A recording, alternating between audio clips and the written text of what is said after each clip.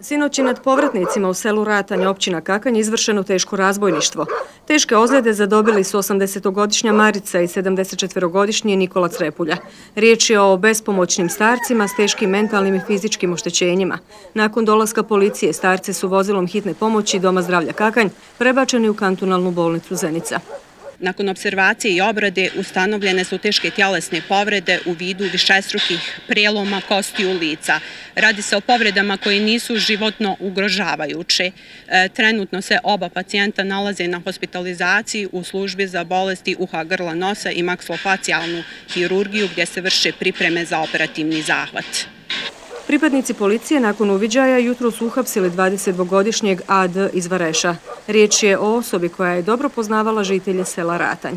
Ne gledam ovo kroz nekakvu e, prizmu nacionalnog u svakom slučaju, nego da se jednostavno ovim ljudima koji su nezaštićeni e, da do znanja da evo nekako u budućnosti mogu računati na nekakvu zaštitu. Dakle, od onih organa koji su naravno zato i zaduženi. Napadu na bespomoćne starce prethodio je pokušaj napada na nekoliko obitelji koji se nalaze u dijaspore, te koji su za vrijeme uskršnjih praznika boravili u svom kraju.